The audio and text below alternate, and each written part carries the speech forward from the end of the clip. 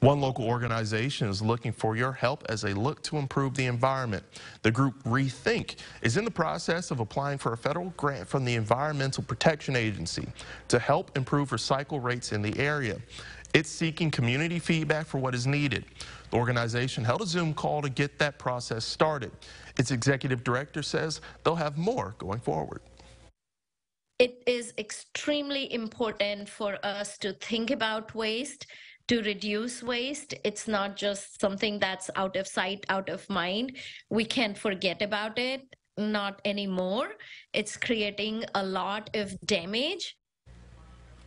The next forum will be on Thursday at 10 a.m. More information and an online survey can be found on their Facebook page.